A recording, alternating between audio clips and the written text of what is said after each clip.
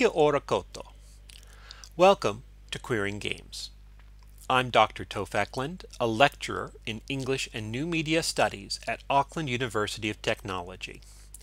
I'm non-binary transgender. My pronouns are they, them. My talk today is about LGBTQ plus representation in games, including games by and for the queer community, and how those games queer or challenge our understanding of what games can and should be. I won't be talking about queer subtext in mainstream games today. It may be that Luigi is gay and that Link's sword is a phallus, but that's not our concern here. I want to start in the late 80s, not just for the proliferation of homophobic and transphobic content in games at that time, but because of C.M. Ralph's 1989 Caper in the Castro, the first known queer for queer video game. The protagonist of Caper is a butch lesbian searching for her best friend, a drag queen. Ralph released this game for free, asking only that players donate to AIDS relief, illustrating how queer games can literally be a matter of life and death. After Caper, there was a slow trickle of queer indie games over the 90s and aughts.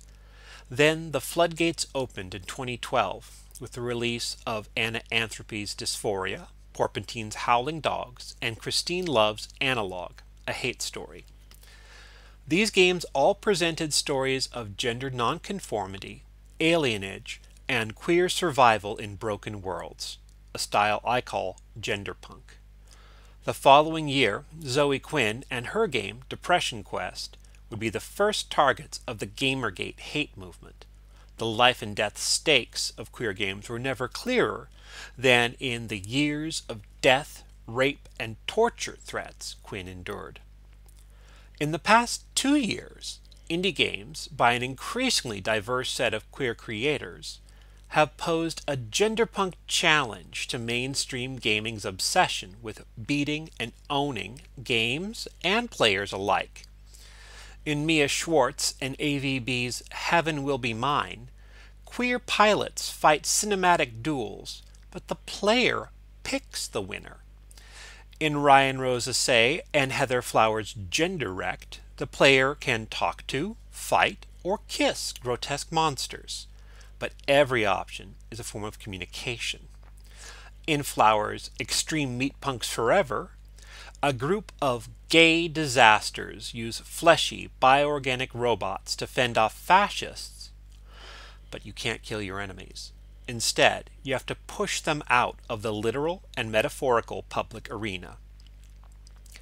Over the same period, Porpentine and Ada Rook's No World Dreamers Sticky Zeitgeist featured a group of mutant and cyborg trans women living on an irrecoverably polluted trash world. Zoe Quinn and Chuck Tingle are collaborating on a forthcoming game in the vein of Tingle's gonzo gay erotic novel Pounded in the Butt by My Own Butt.